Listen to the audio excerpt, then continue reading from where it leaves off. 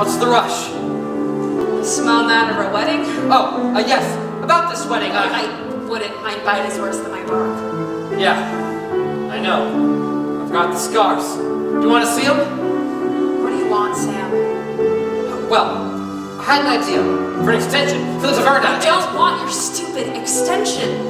What are you doing here? Living my dream. Remember? This place, the island, the Taverna. My dream. Yeah, well, this is my reality. Hard work and a crippling mortgage.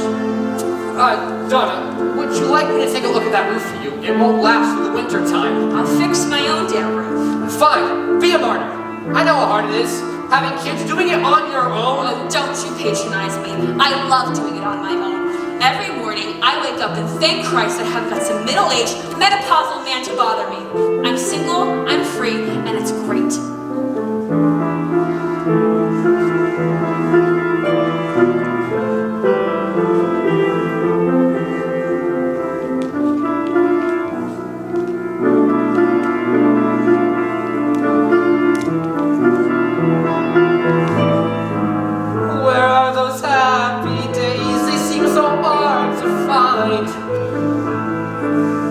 Tried to